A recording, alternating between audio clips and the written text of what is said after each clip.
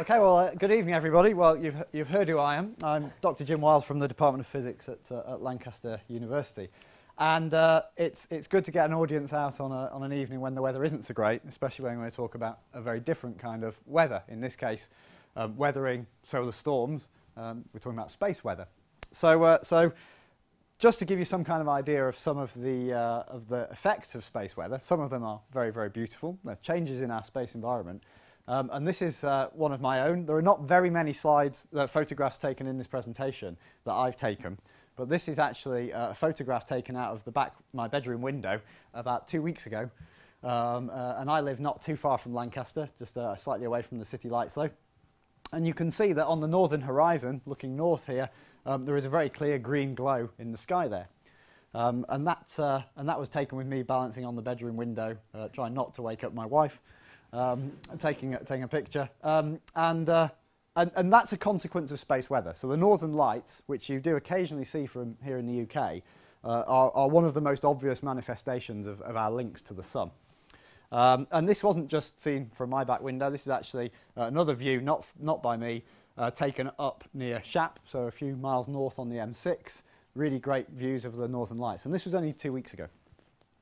Um, and the reason that happened, the reason that you could see the northern lights from the UK is that the Earth was being bombarded by material from the, from the sun. And so uh, what I've got in this next shot, or in this, in this next uh, movie, is uh, some data from uh, a satellite which is sitting between the Earth and the Sun and is always staring at the Sun, so it's doing what we should never try and do. Um, and it's been built specifically to do that, and it has um, a rather special camera. So it, the first thing you notice with this image is there's a, there's a circle in the middle, and that's a little disc in front of the lens, which um, will, will block out the glare of the sun. So where I'm standing on the stage at the moment, I can't see very many of you because of the lights in here, but if I wanted to, I could shelter my eyes from the lights and suddenly I'd be able to see you. Well, this, this camera has the, same, uh, has the same problem. If it wants to see around the area around the sun, it has to block out the sun so it's not dazzled. So that's what this disc is.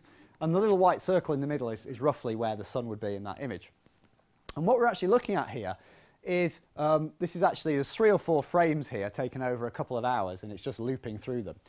And you can see that there's, uh, there's this sort of streaming material all around the sun. And that's actually the solar wind. That's uh, subatomic particles, uh, mainly uh, protons and electrons in the solar wind, and it's reflecting and scattering light towards us, and this camera is recording that. And what you might just be able to make out is that although there sort of seems to be material streaming off in all directions, there is actually a, a, there's a bit of a loop here, and as this movie loops, you can see it sort of moving out from the sun. Hopefully you can see that. And that's actually the beginnings of a, a coronal mass ejection. So the, the, the, the sun's atmosphere is called the corona. And so as the name suggests, a coronal mass ejection means a load of materials being thrown out from the atmosphere. And on this particular day, you'll see the date in the bottom left, 5th of October 2012, that amount of material came earthwards um, and it took a couple of days to arrive at Earth and when it arrived, its interactions with the Earth's magnetic field created the northern lights, which you could even see from the northern UK, and I hung out of my bedroom window to look at. So that complex set of interactions is first of all controlled by the Earth's magnetic field. So I've got a really nice sort of textbook cartoon of the Earth's magnetic field here. And uh, this is, we, we can approximate the Earth's magnetic field to something like an enormous bar magnet. So in high school science, you can take a bar magnet, put it under a piece of paper and put some iron filings on. And you get a pattern showing the, the field lines that emerge that show you the shape of the magnetic field going from one pole of the magnet to the other. And the Earth is very similar. So we have magnetic field coming out of the South Pole and going back round into the North Pole. And human beings have known about this for a very long time. If you want to navigate, you can use a compass because generally the field lines will point towards the North Pole. Your compass needle points along the local field lines, so your, your compass points north. So there's nothing new here. Um, and this has been uh, surrounding our planet since it was created. So it's about four and a half billion years old. So there's, there's no news here.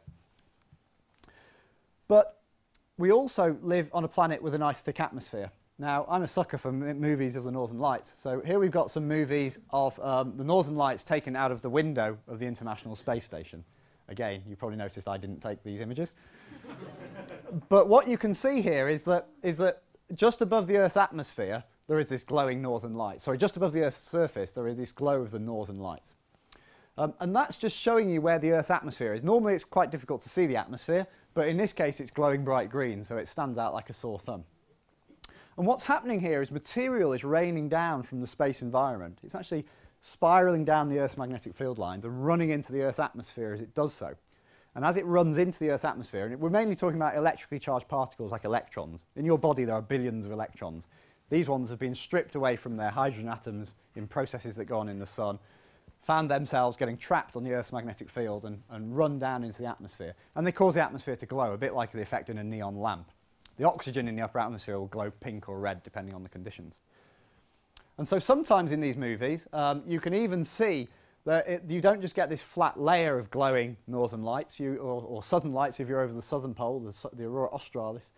You'll sometimes see that there are clear structures, are sort of like vertical stripes and bands in this. So this is a particularly poor example, but as it moves on to another example, hopefully we'll get to see one. Okay, so there we can see these vertical stripes. That's because in the polar regions, the magnetic field of the Earth comes down into the atmosphere. So material is coming down those. And, and those structures, it's effectively, it's, the Northern Lights is painting the Earth's magnetic field for us to see. So we've known about magnetic fields for a long time, and people have been seeing the northern lights for a very long time. Um, so the, the, again, there's, there's nothing new here. This is just a natural process that's going on all the time. But for about the last couple of hundred years, scientists have been trying to work out what it is that causes this process. And we're going to just have a quick look at that, that thought process because it will then start to show what space weather is and how it can affect you and I and our everyday lives.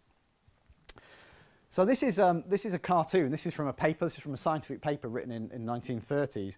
Um, and actually, uh, it, it, betrays what scientists thought at the time. So it was thought that, the, well, we have the Earth here, and it was thought that every now and again, the sun, when it was particularly active, would, some, some material would erupt outwards and come towards the Earth. Well, um, and so the, the, the authors of this paper uh, what they did is they, they had a thought experiment. They thought, well, what happens if you have a front, if you like, a, a front of material moving through space and it arrives at the Earth, well, it will sort of engulf the Earth and move around and fill in behind us. So it's a bit like uh, the water in a stream going around a rock. And they thought that the, the solar wind just occurred sporadically. So this material in space only occurred when the sun was particularly active. Well, we now know that's not quite true. We know it's there all the time. So, so the, the solar wind is always leaving the sun. It's always leaving the solar surface um, and it fills the solar system. But, but about uh, 80 years ago, it was before the advent of the space age, it was thought that it only periodically threw out material. Well, if we fast forward to the end of the 1950s, um, we've got these three gentlemen um, looking very pleased with themselves, and, and, and, so they should, because they've just put the first ever US satellite into orbit. So bear in mind we're in the space race here, we've got two superpowers, the Soviet Union had put Sputnik into orbit, beating the Americans into orbit, so rather embarrassing for the, for, you know, the world's greatest superpower. Um, and these guys, four months after the launch of Sputnik, end of the 50s, had put a, a spacecraft into orbit called Explorer 1. Um, now, there's a couple of people here I want to point out. Um, this is a model of the, of the satellite that they're, they're, holding aloft. And this guy in the middle is a guy called James Van Allen. Um, and we're going to hear more about him and that name in a moment. And then his colleague to his left, or on the right of the picture, who's looking very pleased with himself, is a chap called Werner von Braun, who was um, a German gentleman who was basically the father of the German rocket program in the Second World War, who surrendered to the Americans at the end of the Second World War, and then basically pushed was, was a, one of the key figures that, that ended up putting Neil Armstrong on the moon. So, so, uh, so there's interesting history in here. But in the late 50s, he was part of the team that put the first American satellite into orbit. And on the no in the nose of this satellite, they put in a Geiger counter. Um, you sometimes get the impression that perhaps they just needed to fill some space on the satellite and needed some ballast, or perhaps someone decided it would be useful to put some science instruments on there, but they put a Geiger counter on there. And as soon as this thing got out into space, it went crazy. It detected all sort of radiation, all different types of radiation. You could detect alpha particles, which are, are helium nuclei, and it could detect beta particles, which are electrons. It could detect protons. It's all sorts of electrically charged particles. Space seems to be full of them. And they seem to be concentrated in belts around the Earth. So imagine the Earth, around the equator, there were belts filled with these trapped energetic particles. And now, now an alpha particle and beta particle, that's, you learn that as, is a radioactive particle. It's radiation in, in your high school um, science class. And so you've got the radiation belts surrounding the Earth, and they're sometimes called the Van Allen belts, named after James Van Allen. And they look a bit like this. If you draw a simple cartoon, then to scale, they look a bit like this. Um, you have um, two belts. Uh, you have um, electrons and protons in the inner belt and mainly electrons in the, in the outer belt. And they, they surround the Earth in sort of donut shapes, or torus shapes around the Earth. And there are very high uh, fluxes, very large numbers of these energetic trapped particles in these regions. So straight away, as soon as we got to the beginning of the space age and we could put instruments into space, we realised that space wasn't empty, it was full of energetic, electrically charged particles. Um, and, and, contrary to that idea that we'd looked at a few slides ago from the 1930s, where space was generally empty apart from when the sun threw out a load of material, what, as soon as we got beyond the Earth's magnetic field, we realised that the solar wind was there all the time. So this is another one of these movies. These are called coronagraphs, by the way. Uh, they allow you to look at the solar corona. And so just like the image we we're looking at, this is actually from 2000, and we've got about a month's worth of data here. And so the stars are moving in the background because our, our satellite is actually in orbit around the sun, and it orbits the sun at the same speed as the Earth, so it always sits between the Earth and the sun. So if you want to imagine you're a satellite for a moment, then over your shoulder is the Earth, um, and, and all this material is streaming out. So you can see all this material streaming out into the solar system. About a million tons every second is leaving the sun out into the solar system. Uh, stars in the background are moving as our field of view changes, and you may notice, the keen-eyed amongst you may notice, uh, at one point, uh, I think a comet comes in and disappears into the solar atmosphere, and at the end of the movie you can see there is a planet coming in. It's not a UFO, it's actually, I think it's Venus. Um, but this is a constant stream of particles. Every hour of every day, the sun is emitting material. It's called the solar wind. Uh, and out here at the distance we are from the sun, here on Earth, if you took a sugar cube sized volume of space, so that's about one cubic centimetre, then there's about, let's say, 10 particles in that sugar cube sized volume, so probably 10 protons. If you imagine doing the same trick in this room now, if you imagine a sugar cube sized volume at the end of your nose, there's about a billion billion atmospheric particles in that volume. So out in the space environment, it's all spread out very thin, but space is not empty. There's, there's still stuff out there. And that's what you can see streaming out from the sun here. And, and, as well as this constant steady stream that's going on all the time, you can also see that occasionally there are explosions of material. So you get these sort of puffs of material being thrown out. The sun is firing material out into the space environment all the time. And those things are called coronal mass ejections. We've already mentioned them. It's about um, a billion tons of superheated electrically charged gas called plasma. It's a billion tons of plasma moving at a million miles an hour through the space environment. So this stuff's got a lot of kinetic energy. When it arrives, a billion tons of plasma will do some damage when you get a head-on collision. And also it's electrically charged particles as well, so it can, eh, it can interact electromagnetically with the Earth's magnetic field. And so the solar wind is what drives space weather. Sometimes space weather is very disturbed, the sun is very active. Other times space weather is quiet, the sun is pretty quiescent and we just got a steady breeze from the, from the sun.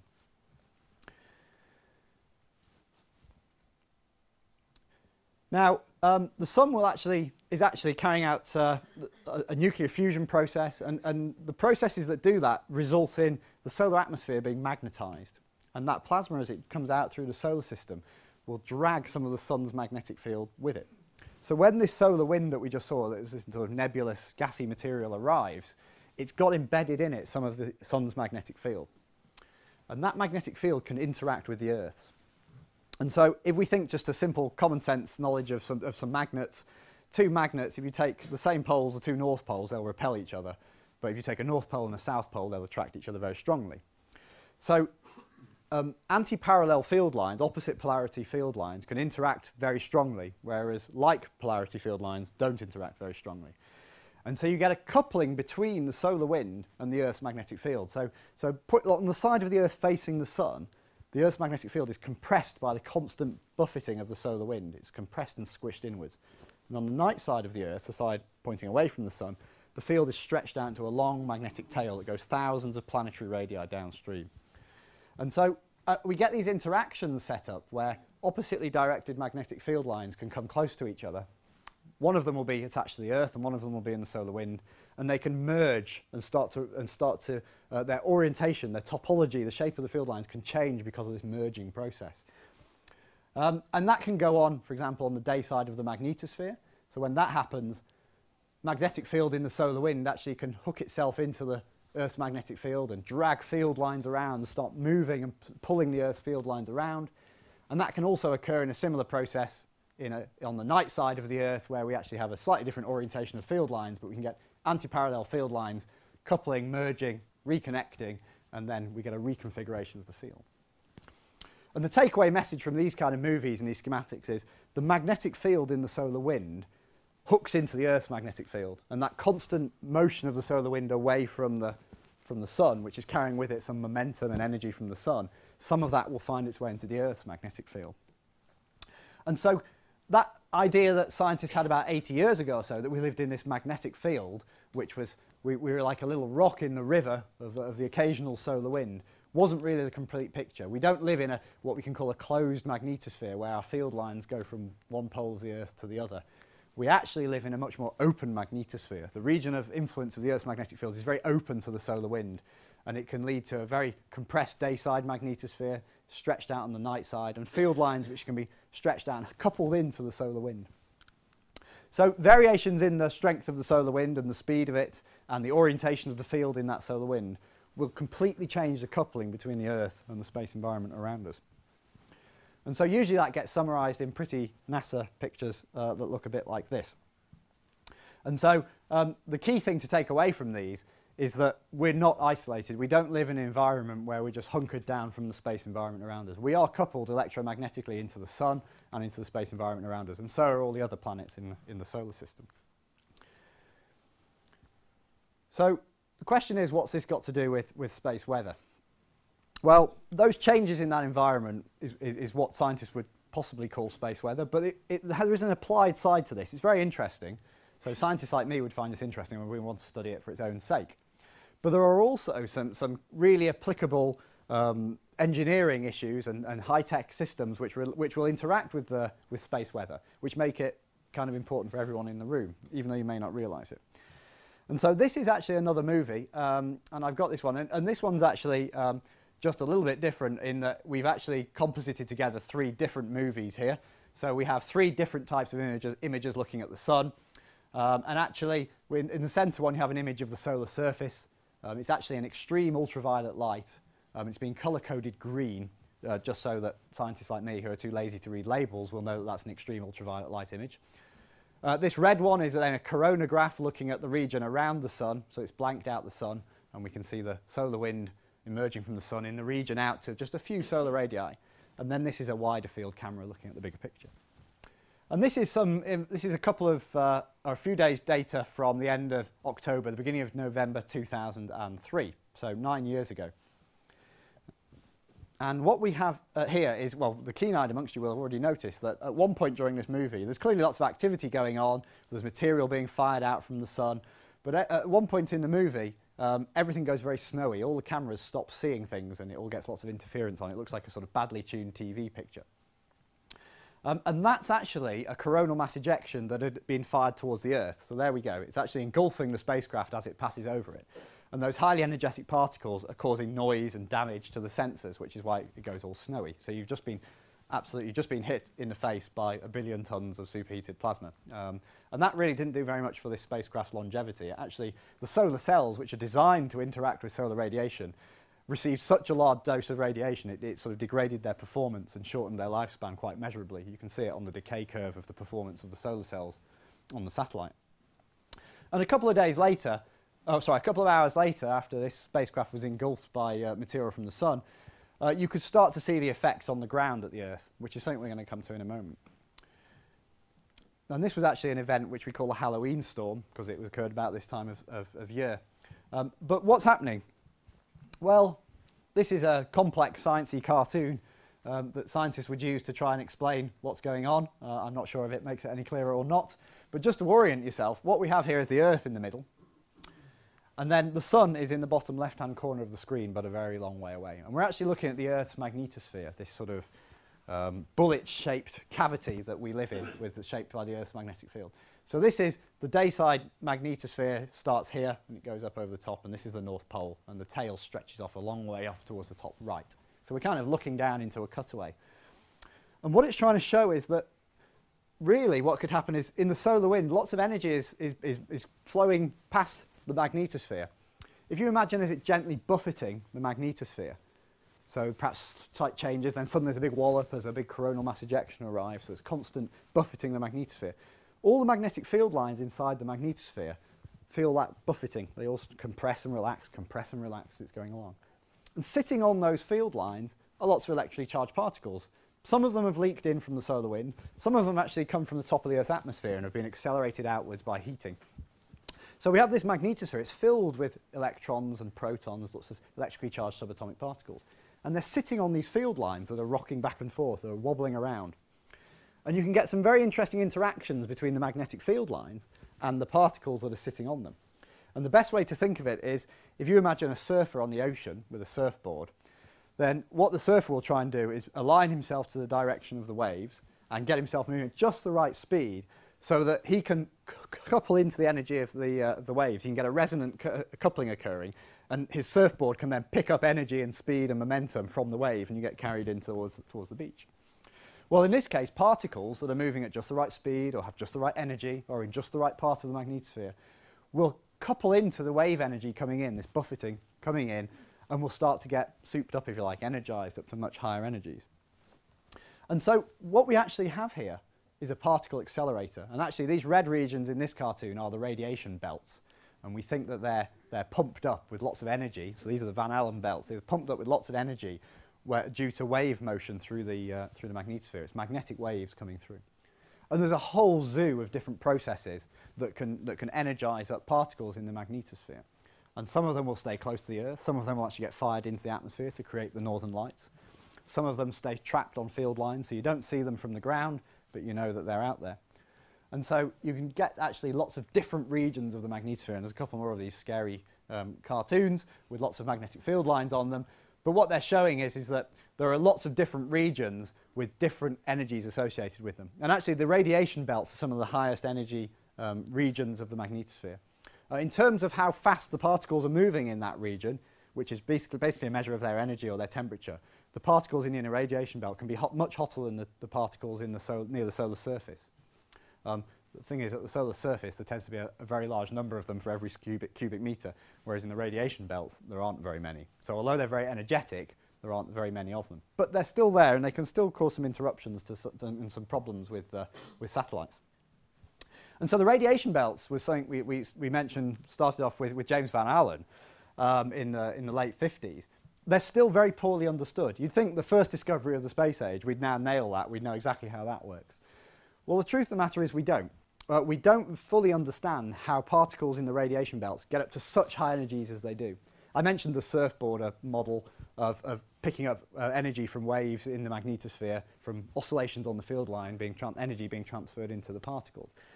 That doesn't really account for how fast they're going. So it's a bit like me saying, explaining to you how a surfer worked, but then you saw a surfer moving along at 200 miles an hour, it would be a bit odd. The, the, the, the description of how we think of a surfboard might work doesn't really account for getting to very high speeds. So uh, it's actually a current uh, um, area of inquiry, and so this, um, when this actually decides to do its thing, this is actually um, an Atlas V launch vehicle taking off from uh, Cape Canaveral in, in Florida uh, at the end of the summer. And this was uh, carrying two NASA spacecraft into orbit around the Earth in order to go, as the Americans would say, on a mission to return to the radiation belts to figure out some of the processes that go on that, that wind up the energies of particles in the Earth's radiation belts and how that links into our coupling with the solar wind. And so this is the Radiation Belt Storm Probes mission, and it's actually a pair of satellites. Lovely NASA animation here. Um, and I've got colleagues at Lancaster who are itching to get their hands on the data, the first data when it starts coming back as these spacecraft are specifically designed to fly through the radiation belts and, and find the high energy particles um, in there and then trying to look at how they get accelerated. Again, you might think, well, why didn't we do this a long time ago? And the truth is that we generally try and make spacecraft not fly through the radiation belts. Um, if I just move on from that lovely uh, animation. This is another schematic. This is a, a, NASA schematic showing roughly the two radiation belts, the inner radiation and the outer radiation belts around the Earth. These are the, the Van Allen belts. Um, the spacecraft are specifically designed to cut through them one after the other. They follow each other around in the orbit. And the reason you have two is you can make a lot, you can get a lot of information about flying through the same region at different times. Um, so if you have two spacecraft flying through the same region and they see exactly the same thing, even though they fly through perhaps a couple of hours apart, you can make some inference about how much that region has changed in the intervening period. Probably not a lot if that's the case.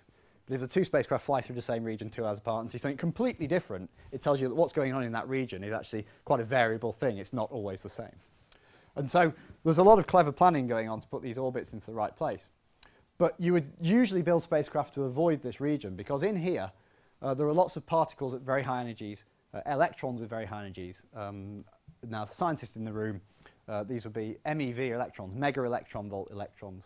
So these are very fast moving electrons. For the non-scientists in the room, uh, they're often known as killer electrons. Um, and killer electrons because they're not terribly good for satellites. Um, they have a nasty habit of burying their charge, so you have an electron carrying some electrical charge, they have a nasty habit of being absorbed by things like semiconductor chips. And so your semiconductor chip gets an extra little bit of charge in it somewhere, and that basically changes a 0 to a 1 somewhere in its memory. Um, and that can have very bad consequences if that was an important piece of circuitry that controlled the spacecraft's main computer or its pointing direction or something. So although there's lots of redundancy, these killer electrons can cause problems with satellites. Uh, and just the number of them, the number of these um, negatively charged particles flying through the spacecraft can cause an electric charge to build up on them. And if you get different amounts of charge building up on different parts of the spacecraft, you can get arcing, a discharge, a spark, which again isn't very good for, se for sensitive electronics. And when your satellite goes wrong in orbit, you can't call an engineer who comes along with a pair of overalls to fix it.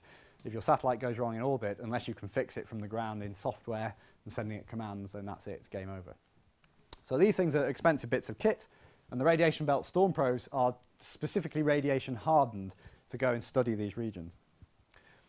But the reason why you or I should worry about this, um, even if you're not interested in the space environment, is that I will try and just overlay on here um, where most of the Earth orbiting satellites are. So if I do this, what we have here is um, a schematic, an artist impression of the distribution of Earth orbiting satellites.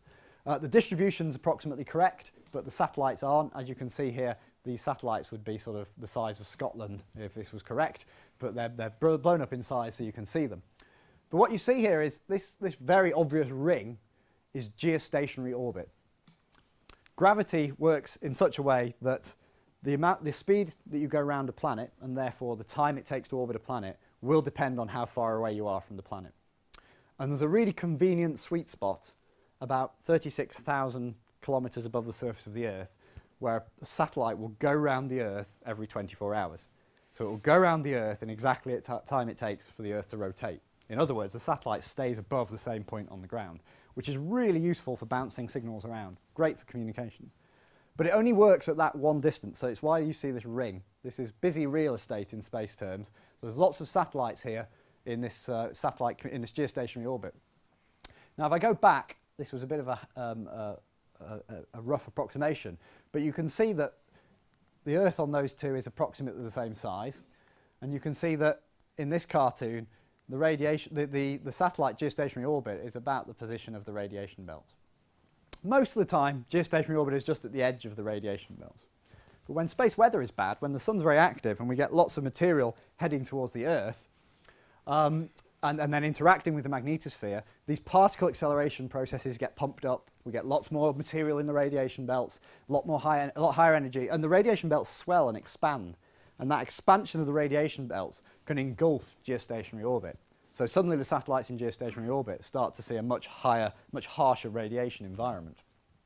And so just from engineering terms, it would be useful to understand that and be able to know how, how tough to build your spacecraft, when to perhaps not launch them. So you wouldn't launch a ship into a typhoon, a, you know, a regular ship on the, on the ocean, you wouldn't launch into a typhoon.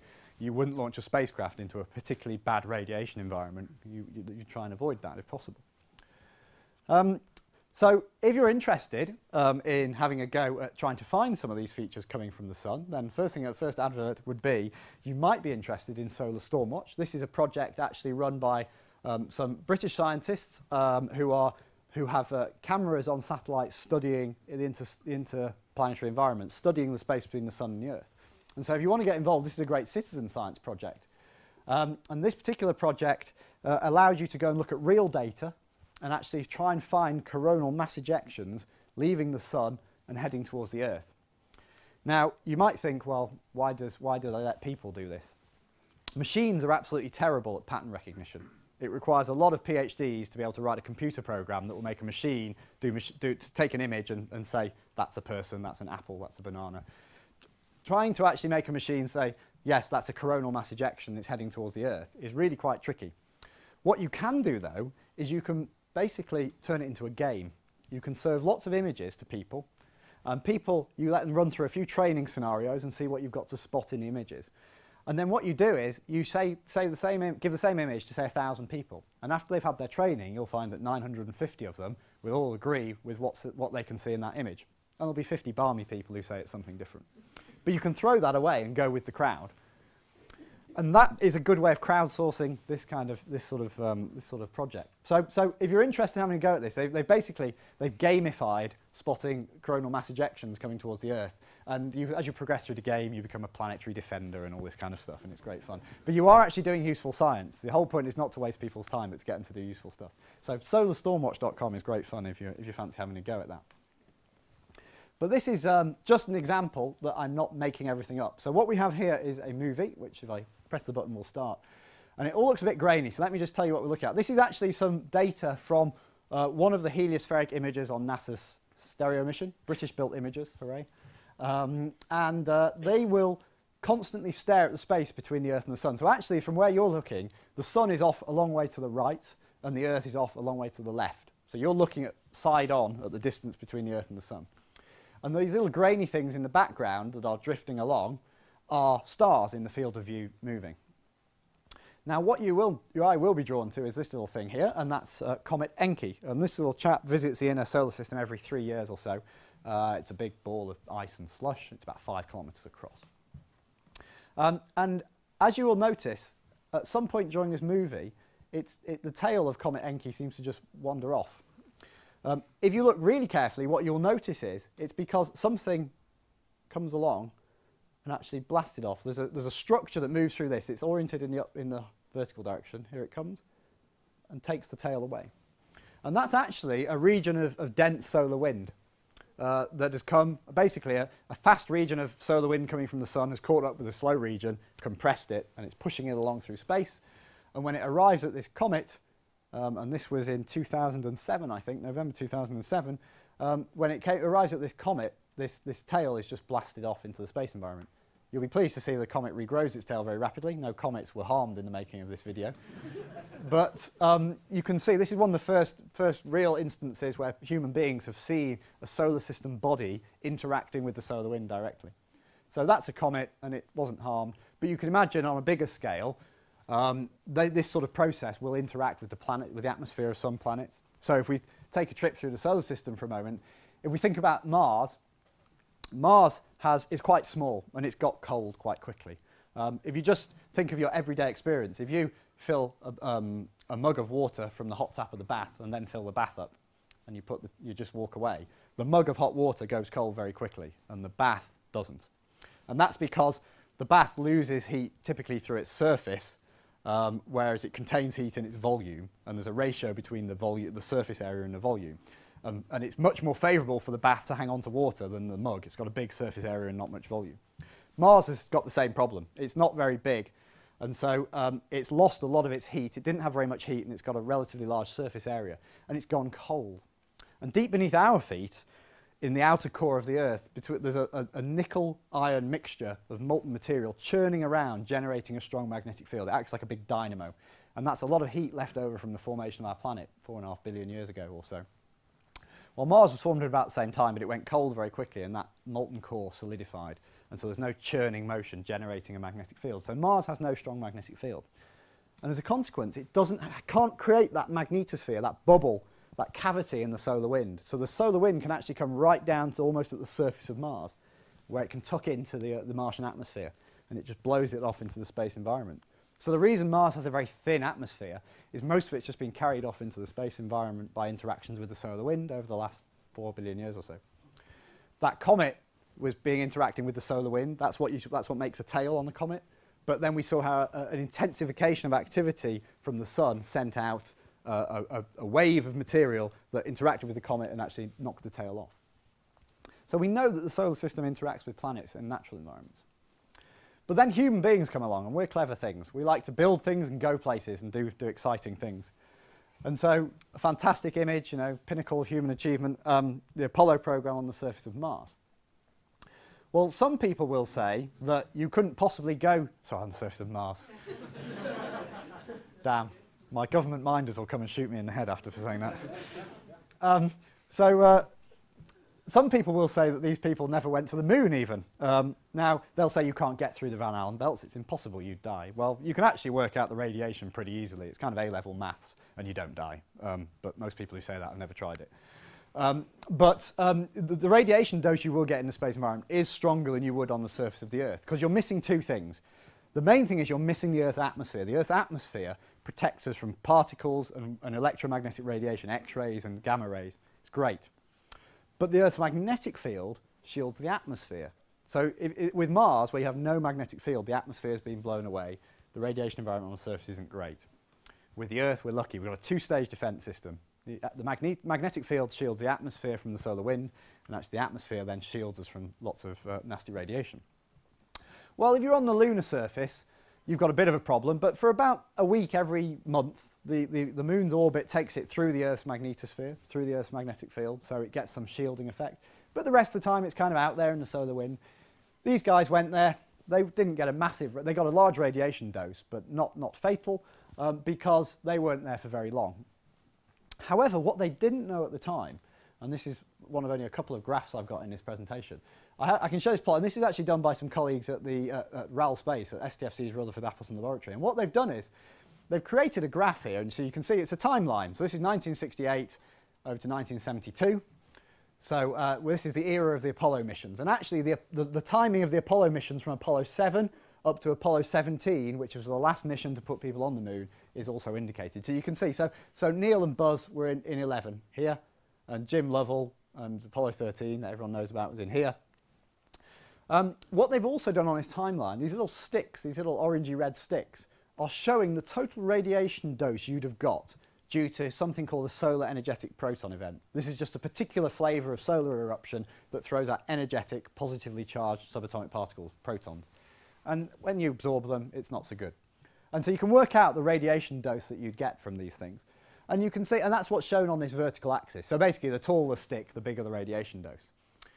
And there are a load of these events in this time. You can see there's a few here, and they go up higher and lower, and they're variable intensity. There's a whopper down here in 1972 that goes up here. Now, most of those skin doses in REM, they don't really mean very much to me. I don't know if they mean anything to anyone in the room. But a couple of lines have just been drawn on there now, just to give you some, some, some marks so you can gauge things. So this is, this is your annual natural radiation exposure. Everyone here will get that kind of dose just from natural background radiation every year. Um, if you work in a nuclear facility, um, or you are classified as a radiation worker, perhaps you work in a hospital with radioactive sources or, or with x-rays, then health and safety legislation would suggest you're allowed to have a slightly higher dose. Still not a dangerous dose, but higher than you would expect from the natural background. And that's this level. This kind of level then shows the sort of exposure that would give you short-term radiation sickness, which isn't very nice. So your teeth fall out, your gums bleed, your hair falls out, you start vomiting. Particularly unpleasant in zero gravity, I would imagine, especially if you have to land something on the moon. It probably makes it difficult to concentrate. And this is the fatal dose. So this is kind of, you will die within sort of days um, if you get this dose. And you'll notice that throughout the Apollo era, the sun was erupting and chucking material out that was actually several times longer than the annual radiation dose you'd expect for a radiation worker. Well, hey, you've got to go to the moon. It's a pretty good trade-off, probably.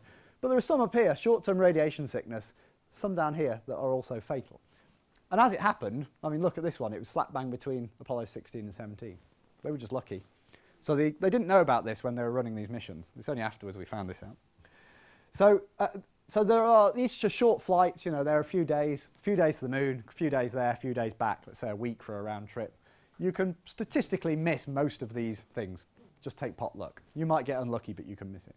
If you do want to go to Mars, though, it's going to take you six months to get there. You'll probably have to wait there for six months for Mars to come back into the correct position to make it back to Earth again. and it'll take six months to get back. So let's say you'll be in space 18 months. So if you imagine these sort of things on 18 months, you sort of pick up a lot of these events and the chances of, you know, you, and they build up, your dosage goes up and up and up, there's a drip drip effect and there's, you know, may even be events, the chance of actually running into an event that will kill you gets quite large. So if we want to have adventures on Mars, we're probably going to have to worry about space weather and think of some clever solutions. Building spacecraft out of lead doesn't work for a variety of reasons, but the first being it's very, very heavy and therefore you can't build, you can't launch the thing. Um, so if you want to understand weather here on on, on the ground, you, you, first thing to ask is, well, what season are we in? If you want to know if it's going to be rainy or not, are we in winter or are we in summer? Let's look at the trends. Well, you can do the same thing with the sun. And actually, this is a graph of sunspot numbers. So 400 years ago, when Galileo turned his first, first telescopes towards the sun, obviously that's a very bad idea, which I wouldn't recommend you doing, but after Galileo had figured out how to do it safely, he could observe little spots on the solar surface, little dark regions. And actually, he was doing this by projecting an image from a telescope onto a wall or a, or a screen. And he could draw them day after day, and he noticed they moved around. And that was how he realized the sun was a rotating ball, because these spots moved around as the sun rotated. And then, over hundreds of years, people have been counting these things, and very quickly a pattern emerges. Every 11 years or so, the number of spots you see on the sun at any given time goes from a very small number to a very big number to a very small number again and then they, it does it again and again and again, and it's an 11-year solar cycle. And so this is actually the sunspot number for the sun from 1950 up till 2013 at the end there. And you can see it's got this 11-year cycle. This is just the natural cycling of solar activity. It's like the sun's seasons, if you like. So you might think, well, if we're going to go to Mars or somewhere fun, then the way we should do that is we should go when the sun isn't very active, when it doesn't have very many spots. So you try and aim for one of these things. Unfortunately, although the sun throws out less coronal mass ejections, these enormous explosions at solar minimum, it throws out more solar energetic proton events at solar minimum. So if you miss one, the other one gets you. And also the sun's magnetic field varies a bit like this as well. It gets very strong at solar maximum and it's very weak at solar minimum. And actually that shields us from radiation coming from outside of the solar system. So galactic cosmic rays, these are radiation left over from um, supernova elsewhere in the universe when the sun's very strong, it actually acts like a big umbrella and it shields us. When the sun's magnetic field is very strong, it shields us from, from galactic radiation. So you could go at solar maximum and you'll be shielded from galactic radiation, but the sun is very active and chucking lots of stuff out. You could go at solar minimum and the sun will throw out different types of particles and its shielding from extra, extra solar system sources is lousy. So you kind of have to figure out what's the best choice and, and none of them are easy answers to make. But it's things like this, this cycling, which as you will notice is heading upwards somewhere here. We're obviously 2012. It's things like that that have driven some funny headlines in recent months. And you might have noticed, well, in recent years, in fact. So I've just got a couple because they're quite fun. Um, so this is from the Daily Mail. Meltdown. A solar super, superstorm could send us back into the dark ages, and one is due in just three years. So this is a very confident prediction in April 2009 that a solar storm is going to arrive on 19th of April 2012 and send us all back to the dark ages. As you can see, it hasn't happened. Um, there is another one, this is one I quite like. So the next solar maximum is expected around 2012-13, potentially coinciding with the London Olympic Games. I quite enjoy this one as well. So, um, so my golden rule is don't mention space weather and the Olympic Games in the same sentence, even though I just broke it then. Um, but what these are referring to is this solar cycle. So space weather is generally worse when the sun is at the maximum of its activity, and that occurs every 11 years or so. And you can actually go back hundreds of years to do this. And you can see actually that each cycle is not necessarily the same as the one before. There, you can not only see the trends in the 11-year cycle, but you can also see there are other trends in that you know, the, the height of the peak seems to vary and the depth and the duration of the minimum will vary from one to the next. So it's a very complex structure and there's some people who spend a lot of time just looking at this kind of thing. But what I've put this up for is I want to take us back. Why do we care? You know, why are we spending taxpayers' money thinking about, about solar physics and space physics and space weather? Well, let's just go back in time. Let's take a trip to 1859, somewhere in here. So we're just after the end of the solar maximum. Uh, we're in Victorian Britain, and in uh, Redhill in London, um, there is a very nice building. Actually, no, I'll move on from that in a minute. I'll come back to that in a minute. There is a gentleman astronomer by the name of Richard Carrington, R. Carrington Esquire, and this is an excerpt from a paper he sent to the monthly notices of the Royal Astronomical Society. So he was a gentleman astronomer making observations of the sun from his helioscope, his solar telescope. And he was drawing sunspots, so he was actually making these beautiful drawings of sunspot groups on the sun. When suddenly the whole room he was in brightened. Um, and he thought the maid had come in and opened the, you know, opened the blinds or something, was obviously about to tell her off realised it wasn't. The light was coming through the helioscope. Suddenly the sun, the region of the sun he was looking at, had brightened. And this was the first recorded observation of a white light, a visible solar flare. He's seeing it. He just happened to be looking in the right place at the right time. He rushed off to go and get someone to tell them. And when they came back in the room, it had died away again. So there's a, a rule for observational science there. You know, don't leave your observations when something exciting happens because you might miss it. And, and uh, this is actually the Kew Observatory, uh, also near London, where at the time they were measuring the Earth's magnetic field. People were very interested in the Earth's magnetic field. We knew it wobbled about a bit over the day. There's a diurnal cycle. It moves around over the day. And we knew that was happening, and, it was, it, and that was useful for navigation. Um, but on that day, at about the same time Richard Carrington was observing this, the, the magnetometer had a little blip, moved very quickly, suddenly. And that was because the, the flare that Richard Carrington had seen in white light actually arrived also as X-rays and ultraviolet light, and it just tickled the upper atmosphere of the Earth. Ionized its light, so broke apart the atoms into electrically charged particles, which could then um, carry more current through the atmosphere. There's naturally occurring electrical currents, but the increasing conductivity of the atmosphere because of arrival of X-rays boosted those currents. And when you get electrical currents, you get magnetic fields. So as these electrical currents were boosted briefly overhead, they generated a strong magnetic field which caused the magnetic field sensors on the ground, magnetometers they're called, to, they caused them to wobble a bit. And that's what some of these traces are. And, and I won't go into detail, but the next day, all hell broke loose. All these magnetometers all around the world, they all went off the scale. Something crazy happened. And what we now know happened was that there was a white light flare that Richard Carrington saw, and newspapers are obsessed with flares, but realistically, they don't generally cause too many issues. Some problems with the ionosphere and radio communication, but what happened that Richard Carrington couldn't see was a coronal mass ejection was launched towards the Earth at the same time as the flare. And it doesn't travel at the speed of light, arriving in nine minutes. It moves quite slowly. Well, this one was a quick one. This, this did the Earth-Sun distance in about a day. Usually they take about three to four days. But this was a biggie. This was like a perfect storm arriving. And when it arrived, very interesting things started to happen. So this sort of thing happened. The sky turned red in a lot of places. Um, and I have some extracts here from newspapers at the time.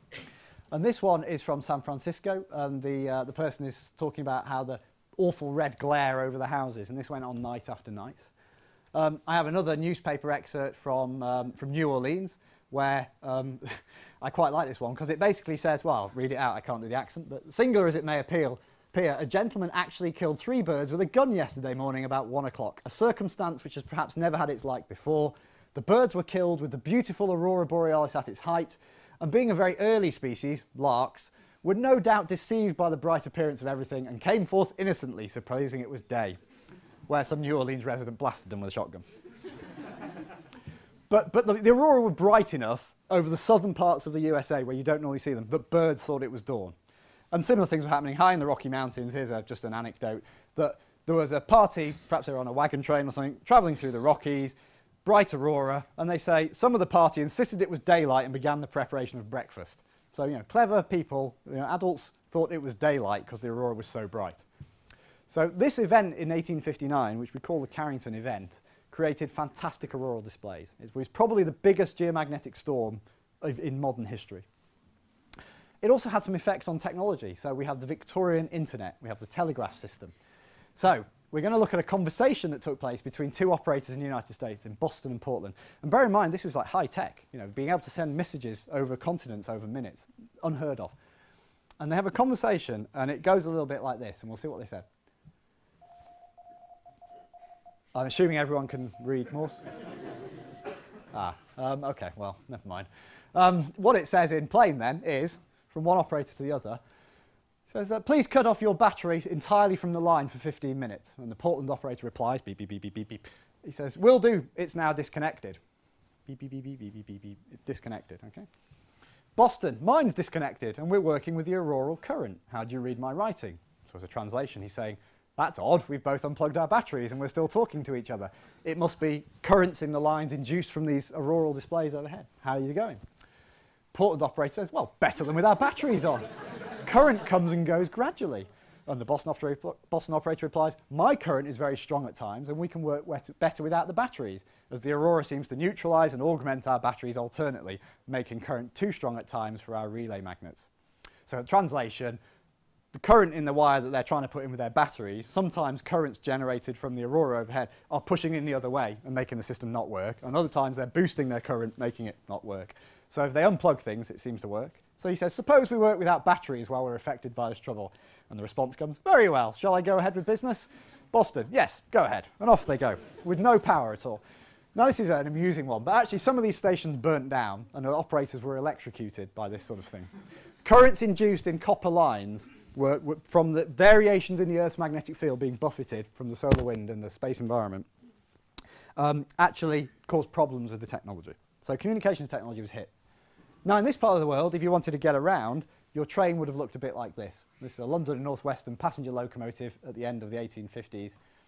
Uh, it's all steel and iron and wood and brass and coal and water and oil and is completely invulnerable to any of the effects of the, of the sun.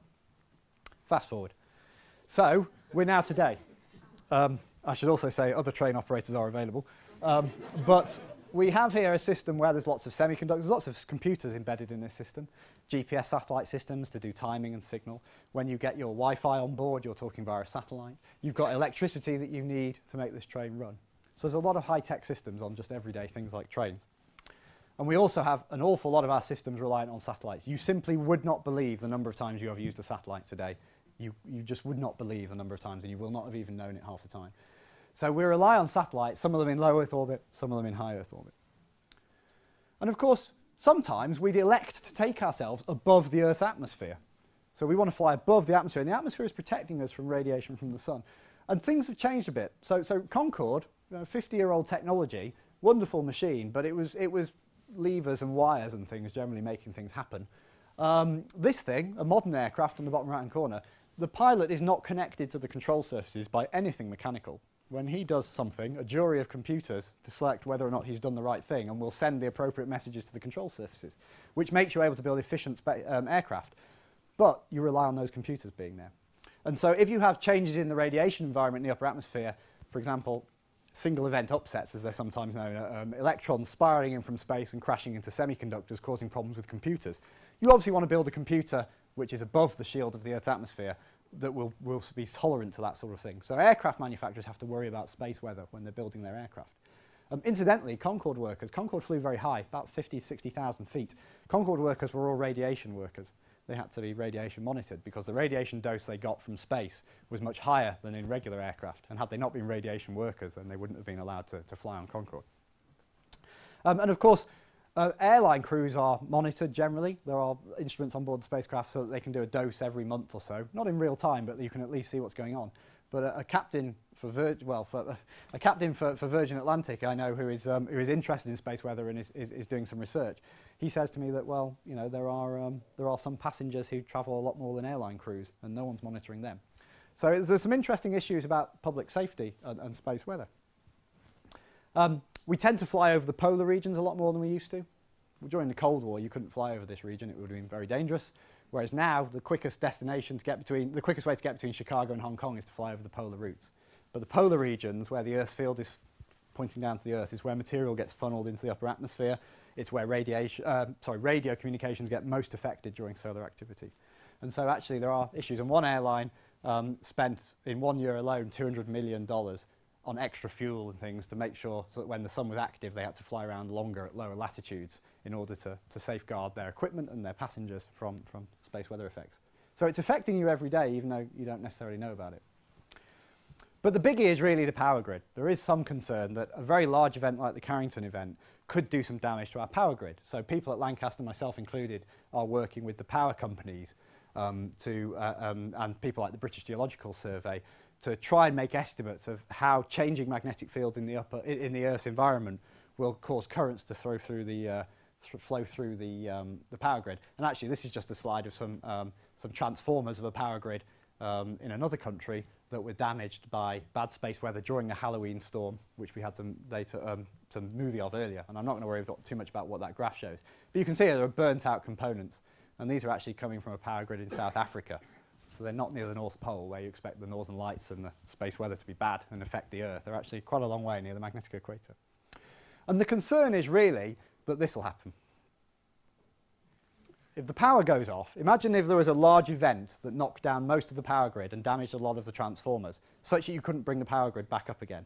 Those transformers are the size of a house, and it typically takes years to, to get them delivered after you've ordered them. There aren't warehouses full of them. It's, it's a slow process. So if you imagine just for a moment the power grid went out and didn't come back up for, say, two months. Well, at first, obviously, it would be kind of irritating. Um, then you'd start to think, well, how do you pump fuel out into your car? Because there's no pumps at the garage that are working. Or how do the people who use trucks to move food around into the supermarket, how will that work if they can't get fuel out of the ground and fuel moved around? Um, how will, for example, refrigeration work and water processing if there's no electricity? How will drugs work? How will the emergency services cope if, if the power outage went beyond a few days? So this is where you get into sort of this scary sci-fi zombie movie type stuff. But it is the kind of thing that concerns governments. So this isn't meant to scare you, it's meant to just show you that there are people out there thinking. And actually, the US government did a survey and they um, reckon, they, they tried to work out what would happen if the Carrington event happened today. And they said in the worst, worst case scenario, they would expect there to be about one to two trillion dollars worth of damage to the US economy in the first year afterwards. Um, and that's just a comparison there with Hurricane Katrina. Of course, these numbers used to sound big until the economic crisis. Um, but, but they reckon it would take years to recover from this sort of thing. So it doesn't surprise you that the US government is, very, is thinking very seriously about its infrastructure, as is the UK government. And there are actually agreements to share information between them about how that would work. Um, and so, yes, this isn't meant to scare you, but I will be in the bar afterwards. If anyone wants to come and see me, um, I can sell you a, a Solar Storm survival kit. but seriously, um, extreme space weather is what they call a high impact, low frequency event. Something which, if it happened, would be very, very, very, very bad potentially, but is unlikely to happen very often. And so there are other types of things which we're more used to dealing with. So volcanic eruptions. So, so large volcanic eruptions, this is Mount St. Helens, massive damage, but not expected to happen, and probably beyond the sphere of experience of most people involved. There is a, a tale of a chap who lived on the slopes of Mount, Mount, Mount St. Helens, who was told he should probably move by the scientists and the government, and he said, no one's going to tell me to move, I've lived on this mountain all my life, nothing's going to happen. It went bang, the valley he lived in is now 50 metres underground. You can't, you know, and he was killed. Now, it wasn't because he was stupid or stubborn, it was because he'd lived on that mountain 80 years and he'd never seen it go bang in the way that it went bang in the end. It was totally beyond his experience. And that could apply to other things, you know, tsunamis. No one would have predicted this. In fact, it would have been very difficult to predict and, and organise a tsunami defence system the day before it happened. The day after it happened, it was an obvious no-brainer. It was just no-brainer. Pandemic flus, earthquakes, all these kind of big things that you would expect your government to be thinking about. And I am pleased to say that the government is, and there's a couple of very long documents here, but you know, the British National Security Strategy, there's uh, evidence, uh, scientific evidence in, in emergencies commit, um, report there from the House of Commons. Um, the British National Risk Register has severe space weather in there now. It's alongside other things like flu and extreme heat waves and terrorism, things like that. So the government thinks about it quite a bit and, and puts into place um, procedures of how to take advice on what to do. Much like if there's, say, a volcanic ash cloud, they now know which scientists to talk to about that. So to leave on, a, on an interesting, on a happy note, um, although things are, there's a lot of work being done uh, to look at space weather, the thing is we only have one sun. Now, if you were to do a medical trial, you wouldn't try your drugs on one person. You'd find hundreds of people to try it on. And then you'd get a, a, a broad response to what the, that drug did, and you could then make some inferences about how good it was and what the problems were. Well, we only have one sun to study, and we've only been studying it in space for 50 years, which isn't very long. And so these large events like the Carrington event probably occur every few hundred years. Uh, the last one was 150 years ago, so there's a reasonable chance there might be another one in the next 100 years. What some astronomers are doing is they're looking at stars in other parts of the universe that are very much like our own. Our own star is very boring, very typical, very middle-aged. Um, and they're looking at similar stars to see how active they are. Because if you look at lots of stars and get a feeling for an activity of, in a, in a pattern of activity of stars like our own, it should teach us more about our own um, star's activity and, and how often these sort of things can happen. And so, years ago, no one would have cared about this. If you live on the plains of the Serengeti, you still won't care about it. But if you rely on a GPS system to land your aircraft or you rely on an electricity grid or satellite communications or you want to fly across the ocean, then these things have changed. And it's not that the natural system has changed, it's just we've built machines that we rely on which are more vulnerable to space weather effects than, than, are, um, than some of the natural systems. But if you would like to know, next time the sun is doing its thing with space weather, you perhaps know to look out of your window and take a picture. Um, I'm just going to leave it tonight that um, our group at Lancaster in the physics department actually runs a service called Aurora Watch. Perhaps some people in the room have signed up for it. And what we do is we take real-time measurements of the Earth's magnetic field. And when we're getting a kicking from the solar wind, we can detect it. And we can send out emails, and you can either go Facebook or Twitter or, um, uh, or, or get an email alert to your whichever device you want, which says, the aurora might be out tonight, it could be worth looking. And that's how I knew to take that photo a couple of weeks ago. So space weather can have some nasty consequences as well, but it's when the space weather is actually particularly active that the aurora come down from their usual hiding place at the edge of the Arctic Circle. They come much further south and you can see them from the UK. So I'd encourage anyone who's interested in doing that to sign up. And at that point, I'll leave it there. Thanks very much.